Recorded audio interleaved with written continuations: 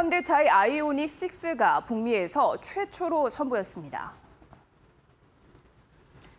현대차는 현지 시간 17일 미국 LA 컨벤션 센터에서 열린 2022 LA 오토쇼에서 아이오닉 6를 선보였습니다. 아이오닉 6는 현대차의 전용 전기차 브랜드 아이오닉의 두 번째 모델로 스포티한 이미지와 넓은 실내 공간, 다양한 배터리 옵션, 충전 속도 등 고객들을 만족시키는 사양을 두루 갖췄다는 설명입니다.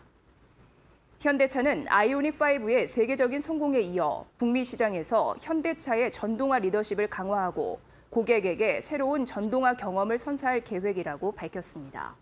아이오닉 6는 내년 상반기 북미 시장에서 본격 출시될 예정입니다.